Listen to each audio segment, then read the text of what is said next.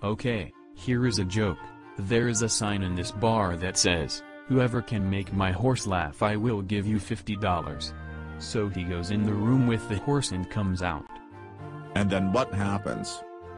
The horse is laughing his ass off and the man gives him $50 so he goes home. The next day there is another sign in the window saying if you can get my horse to stop laughing then he He will what? He will give him $500 so he goes in the room with the horse and comes back out seconds later and the horse is crying, and the man asked him what did he do to make him cry.